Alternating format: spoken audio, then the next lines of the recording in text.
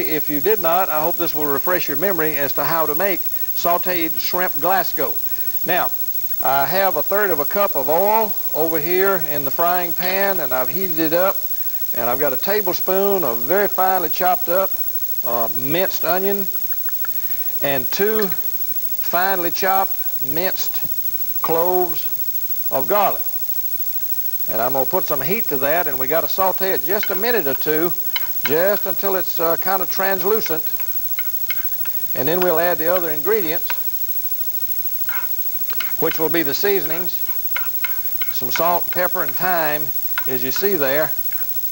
But the main thing now is to get this so we get the essence of the garlic and the onion. Going to have all kinds of essences in here. Uh, you see it calls for a couple of tablespoons of Scotch whiskey. Uh, of course, we're going to saute this on top of the stove and the alcohol is going to boil away. Uh, that's just one of the many flavors that go into this recipe that we'll have on the shrimp, including the garlic, the onions, the thyme, uh, and the lemon juice, and a little bit of everything. A very delicate but marvelous blend of taste. And everybody that I've ever served this to uh, just raves about it. Now that looks like it's getting about right there, and I'm going to turn it down just a little bit. Salt and pepper to taste. And put in about a quarter of a teaspoon of uh, thyme leaves. And again, let it go for about another minute. There we go, about a quarter of a teaspoon there, wouldn't you say? And we let it go again like this.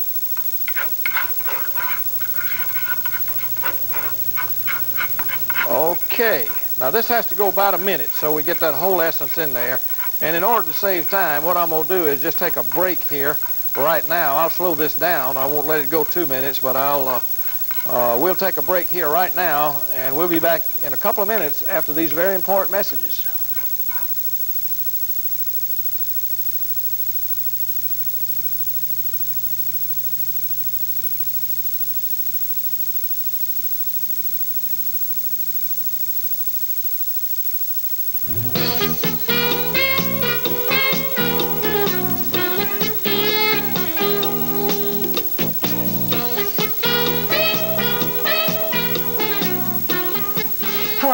I'm Bradford. For the next couple of minutes, we're going to be talking with Janet Timmerman. Janet is chairperson of the Junior League of Columbia's Cookbook Committee. And Janet, the name of the cookbook is Putting on the Grits. I believe it's the first project of its kind for the Junior League. And just tell us what the cookbook features.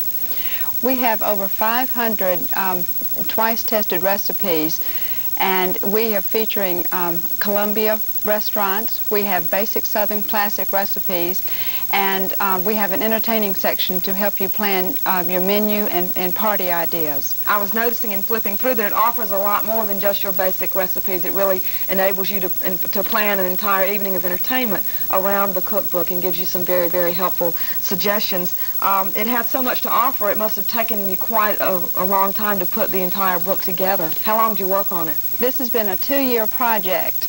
And we uh, gathered recipes for a year, and then it took us one year in putting the cookbook together. And it is on sale in Columbia. How can people purchase one? We um, have it in about 25 bookstores and gift shops throughout the Columbia area. But if they are unable um, to purchase it that way, they can order it um, through our cookbook office at 4600 Forest Drive, Suite 4, Columbia, South Carolina, 29206 is our zip code. I know the response has already been tremendous to the cookbook. Very briefly, where will the proceeds go? Our proceeds all go back into the community to support um, um, projects that, that we have ongoing. Thank you, Janet Timmerman, for being with us and talking about the Junior League of Columbia's new cookbook. Thank you.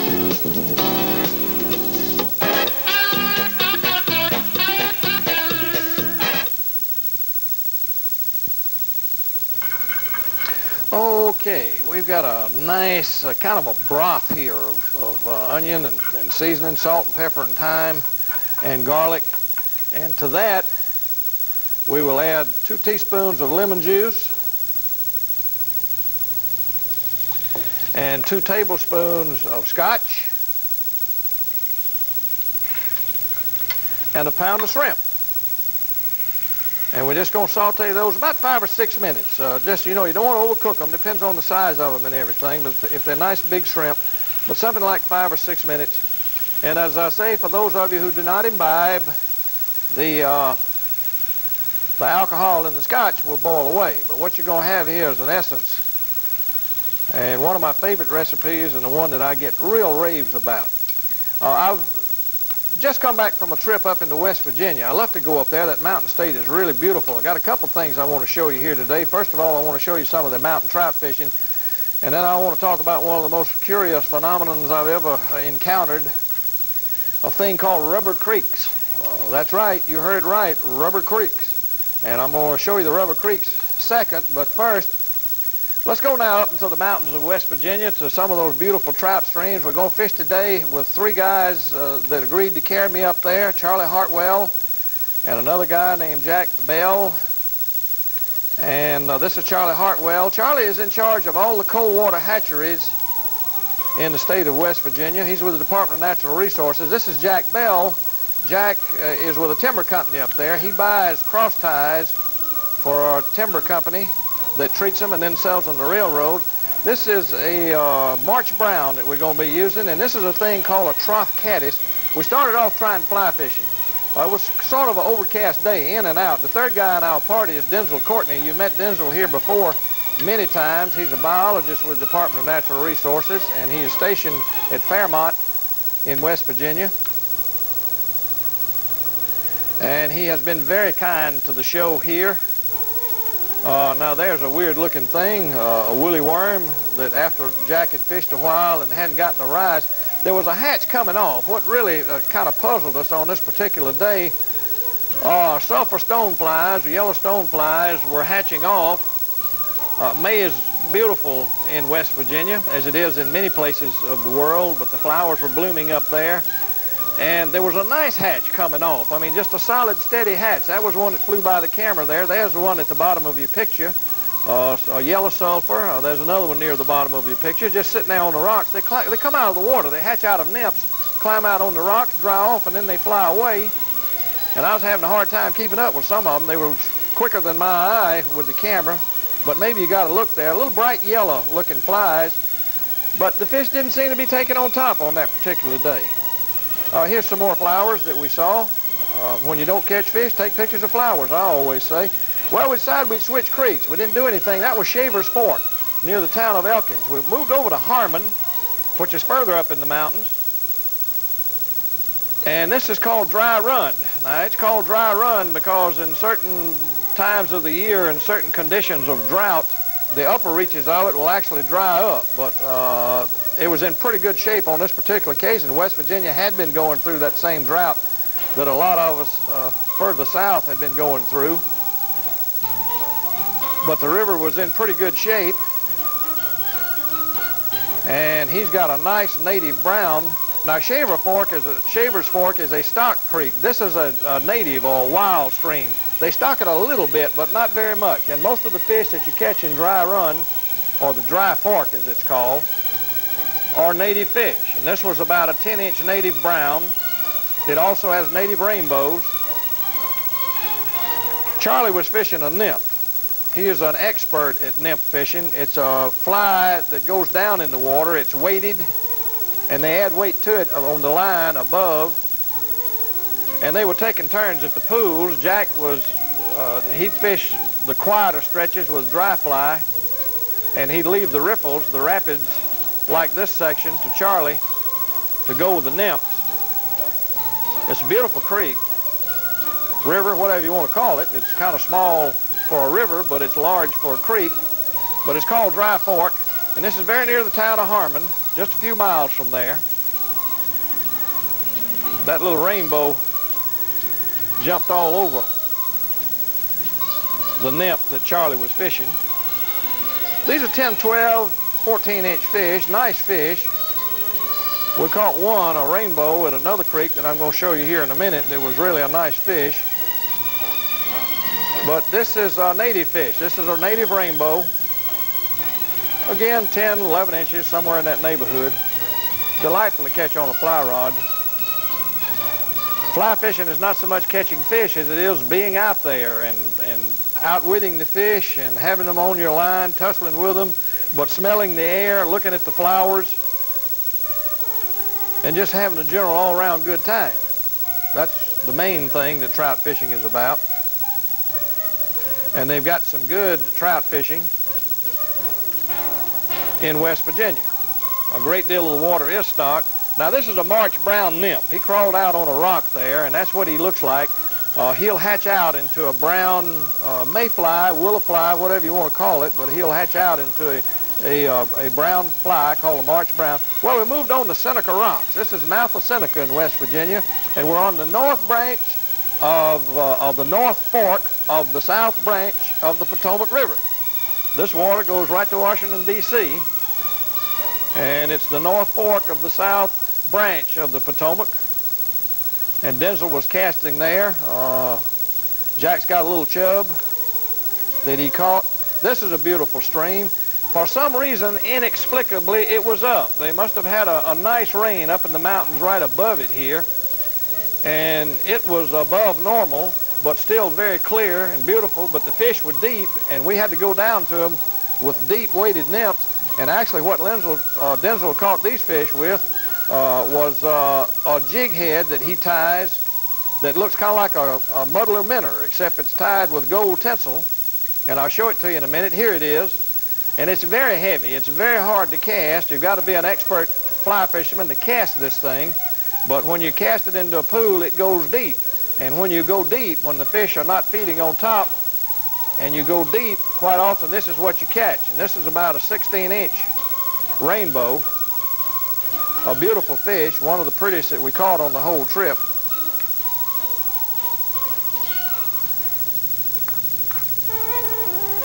And nothing more fun than to catch a fish like this.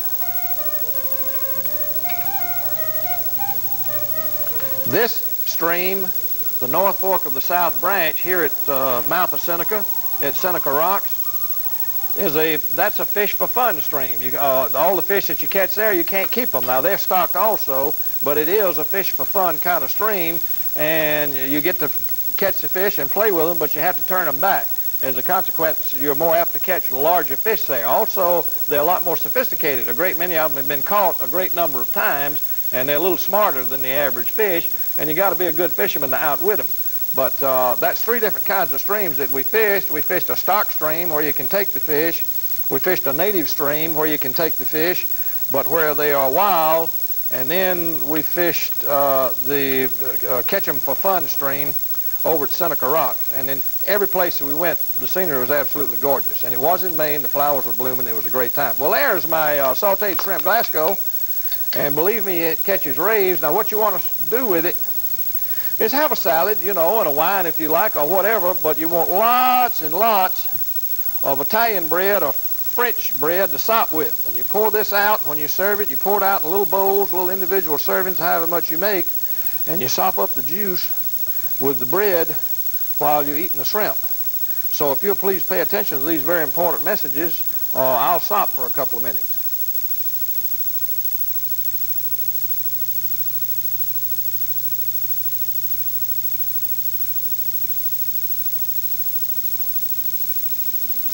I always have my spice box for each Southern Sportsman taping because a lot of my recipes call for seasoning, but here's a product that does away with choosing the right seasonings.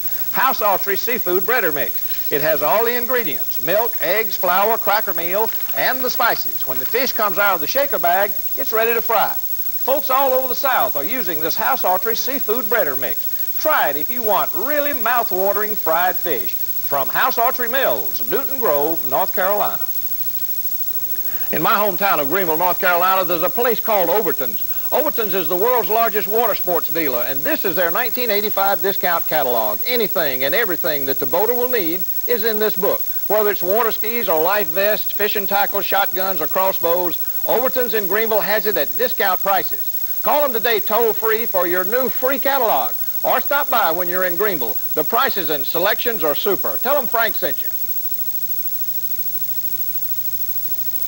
What's so different about the Happy Jack 3X flea collar? It works. Manufacturers of animal health products for over 38 years, Happy Jack has achieved a dramatic breakthrough in canine preventive health care.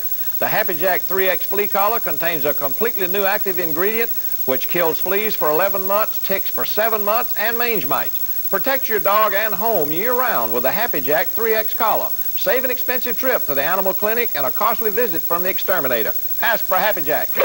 Your dog would. This is my partner at the Southern Sportsman Restaurants, Bobby Caraway. What are you cooking? I'm making a Hangtown fry. What about you? Fried quail. You could have made a trout Delmonico. Well, you could have cooked spicy broiled trout. Well, you could have fixed a baked rabbit supreme. Well, you could have cooked shrimp thermidor. The fried frog legs. You could have cooked sweet and sour duck. The clam stuffed mushrooms. Mary old soul. The seafood platter. Food at the Fried Southern shrimp, Sportsman restaurants crab, is worth arguing about. steak. When are you gonna cook venison stew?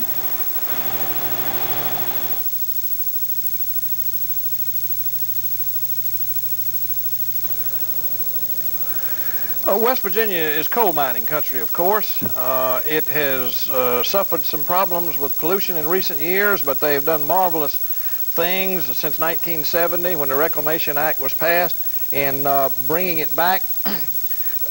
they have a, another serious problem up there, and that's unemployment. West Virginia has one of the highest unemployment rates uh, that we have any place in the country.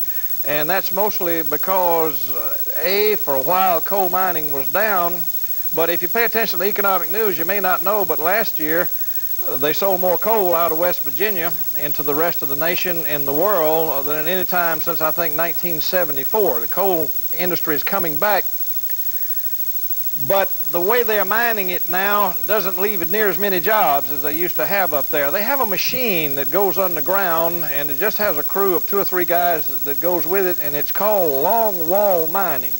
Now they mark off a grid about a mile square and they go through there in a 600 foot wide swath underground. This machine just cuts out all the coal as it goes and they don't bother to brace it up with timbers and things like that like we used to. It's designed, if it wants to fall in behind them, fine. It, it just, they just go ahead and let it fall in. Then they'll leave 300 feet and they'll step over and they'll do another 600 foot swath a mile long. Well, working along underground like that, they come under houses, they come under pastures, they come under streams, and particularly where they come under streams, they don't want the water to break through into the top of the mine and flood it. So what they have begun to do in West Virginia is something I've never seen anyplace else in my life. I was fascinated by it. I was a little appalled by it too, but I was fascinated by it. They line the creek beds with rubber. They may be a half a mile or a mile or more of rubber that they lay in this creek so that the water won't go through the bottom of the creek when the machine goes under the creek. So I thought I'd show you this. They told me where I could find some of these. I had heard about it, and I said, look, I'd like to go see one of these things. This is uh, Goose Creek in northern West Virginia, and that's all rubber that you're seeing there now. Now, somewhere under here, there's a mine, and they don't want the water from this little creek to come down. I don't know what they would do. I imagine they avoid the very large rivers because rubberizing a big river would be a problem. But this is just a, a, a rubber trough or whatever you want to call it. And uh, here at Goose Creek, I'm going to show you four different streams. I'm going to show you one that's in a tube. In fact, I'll show you two that's in a tube. I'll show you one 36 inches in diameter that's in a tube, and then I'll show you a tributary of that one that's in a 12-inch tube. But uh, some people in West Virginia are sort of uh, crestfallenly, I mean, I sardonically or sarcastically or whatever you want to call it, refer to these as rubber creeks. But fishing in a rubber creek's not too much fun. Now, there's tadpoles there. But what they're doing is trying to keep the water from going into the top of the mine, so they have to pump all the water out. But this is what you get on the landscape. And this is Goose Creek. Now I'm going to show you a tributary of it here in just a minute in a three-foot rubber tube. Goose Creek, this was during the drought. If you remember, they didn't have much rainfall, and being in that hot rubber trough anyway, most of that water evaporated out. That creek wasn't running. Here's another little creek. You, you can't see it because it's in a tube. It's in a three-foot diameter rubber tube just laying across the country. And uh, there you see it. There it goes. And I'll show you here in a minute. I'll show you the tributary first, the 12-inch tributary that comes into it. But there were raccoon tracks down the top of this creek. I don't know whether the raccoon was just trying to get from one place to the other and found out that this was a neat way to go, or whether he was actually looking for water. I don't know what he was after. But there were raccoon tracks all down the top of it. This is the 12-inch tributary, and it comes down the mountainside and joins the 36-inch tributary, and they go along their merry way. And here it is again. Maybe you can see those little dust tracks right there on the top, right there in the foreground. That's where a raccoon went strolling along uh, some night, probably, trying to find out what was going on. I guess he was saying, I wonder if I can fish in this creek. Well, it's hard to fish in a rubber creek, especially when it's in a tube. This is Jake's Run. This is a big creek. And I actually saw smallmouth bass cruising around on the rubber bottom in here. I guess they were looking for a place to spawn, but there's not many places to spawn in a rubber creek. Well, I've got some friends that are biologists in the Department of Natural Resources, and I went back and I said, well, you guys showed me a real creek? I'd like to see a creek that's got water in it.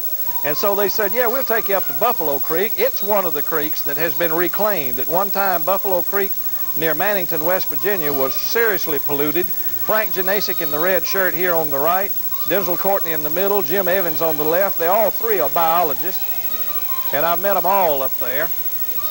And after having spent the afternoon just driving around the countryside by myself, looking at the rubber creeks, uh, I went back to town, and when they got off at 5 o'clock, they said, come on, we'll take you.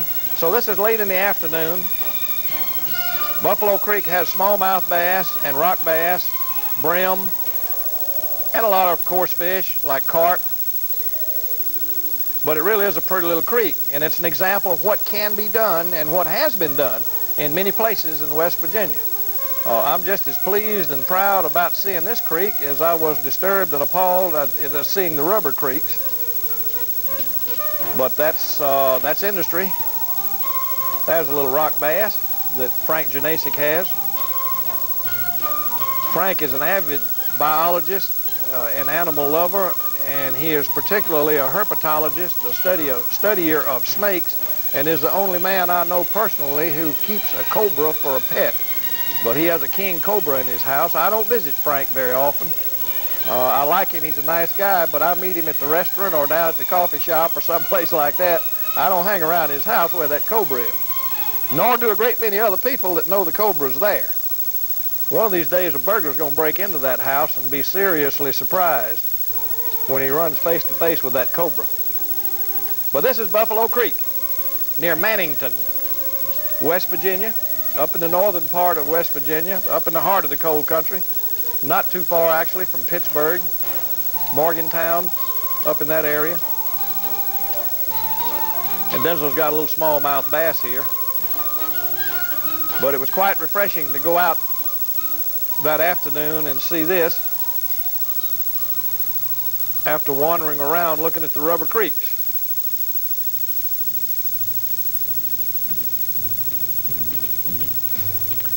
Jim's got a little fish here. There's some larger fish in there, but it was hot afternoon and and we didn't stay till dark. Probably if we'd stayed until deep dusk, we would have caught some of the larger fish that are in here. The main thing I wanted to do was just get my toes wet in cool water, and so that's what I did when, when I went back there. It's legal to do that in West Virginia. They call it subsidence, subsidence, subsidence, whatever you want to call, but it's legal to subside. But people have found their swimming pools cracked in half and the water gone, wells have gone dry, rooms have fallen off of houses, houses have had to be moved and put up on steel foundations and everything, where the ground falls uh, behind these machines that are crawling along there underground.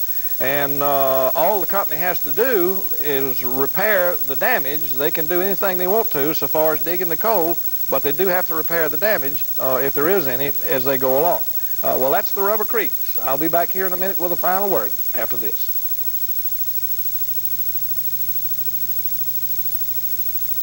In my hometown of Greenville, North Carolina, there's a place called Overton's. Overton's is the world's largest water sports dealer, and this is their 1985 discount catalog. Anything and everything that the boater will need is in this book. Whether it's water skis or life vests, fishing tackle, shotguns, or crossbows, Overton's in Greenville has it at discount prices. Call them today toll-free for your new free catalog, or stop by when you're in Greenville. The prices and selections are super. Tell them Franc sent you.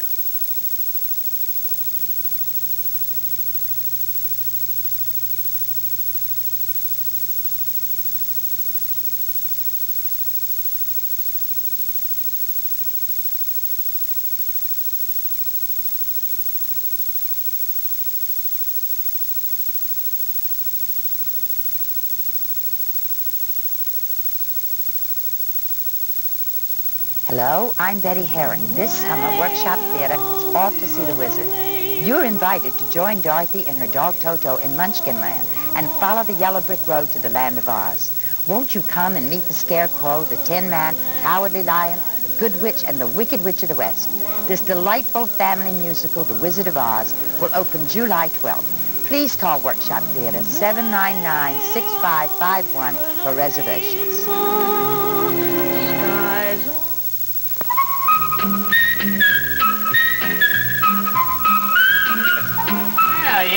Now, are you, wise guy? From now on, you just better stay as far away from Mayberry as you can get if you know what's good for you. Ain't gonna get the drop on me again.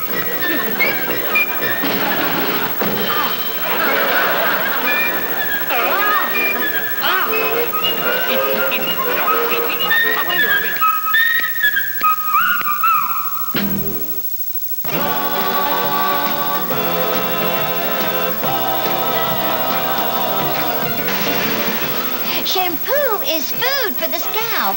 It feeds your follicle. Good.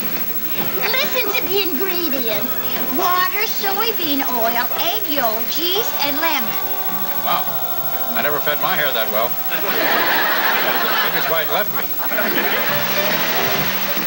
The water ski uh, company, and they have a water ski catalog, which is practically all water ski equipment, but has some marine uh, hardware and stuff like that in it. So uh, I've got an idea when you call the toll-free number that if you ask them, uh, they'll send you both of the catalogs. So if you want one of this, it, they've got some great stuff in here and good prices. Uh, we'll see you here next week. Please do not litter and do yourself a favor. Take a kid fishing.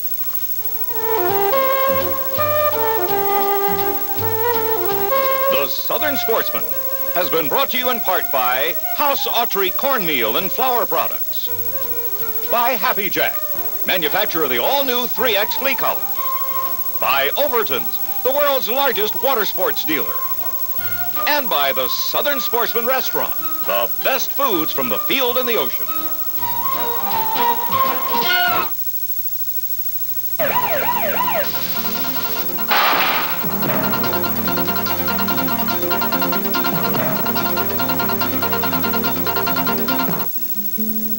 This summer, Harbison Recreation Center presents sight, sounds, and entertainment to dazzle the young and the young at heart.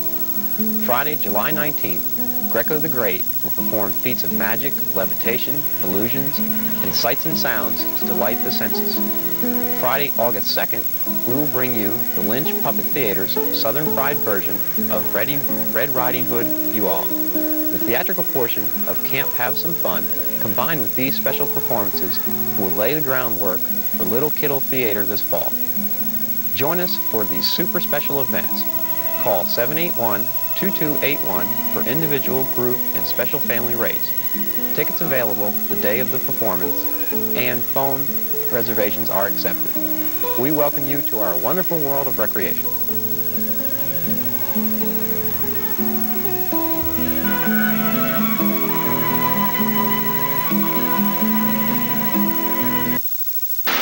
Jeffersons, 7:30 weeknights.